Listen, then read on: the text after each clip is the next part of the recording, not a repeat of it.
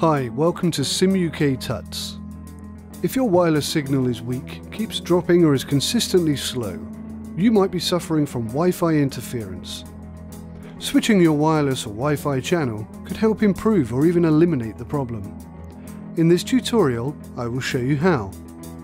To start with, we need to see how congested the Wi-Fi channels are in your location.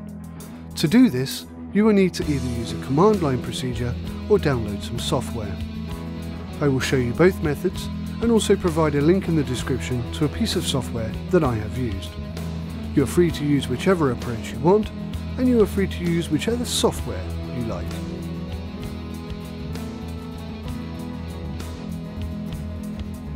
Here is one very simple way to open the command prompt on Windows. On your computer, select the Start button, or the Windows icon, which is located in the bottom left-hand corner of your screen, and type in the letters CMD.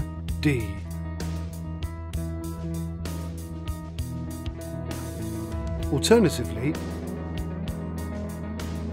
select All Programs and then Accessories. Right-click Command Prompt and select Run as Administrator. Type in the following command and press Enter.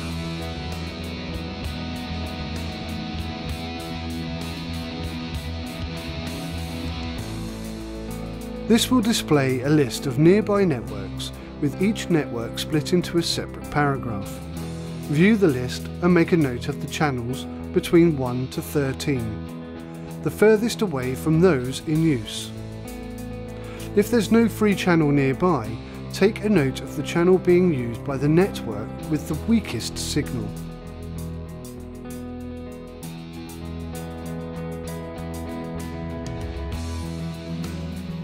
If you already have a piece of software in mind, that's great.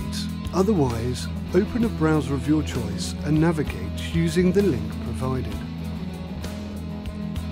I use Acrylic.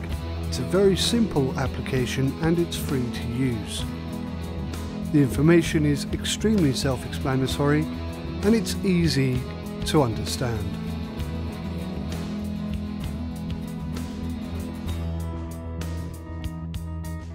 If you do not know how to log into your router, please check out my list of tutorials detailing this. And please note, these routers are extremely slow.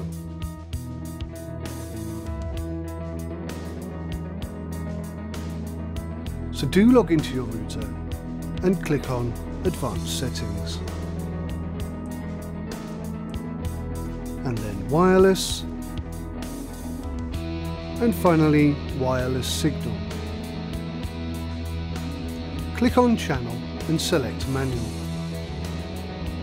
Then click on the drop-down box to the right and select your channel of choice. If you have split your channels already, you can do this for both the 2.4 and the 5 GHz channels. If you don't know how to do this, please see my list of tutorials. Click Apply Changes and allow the router to restart. Please note that this can take some time and may even end up becoming unresponsive.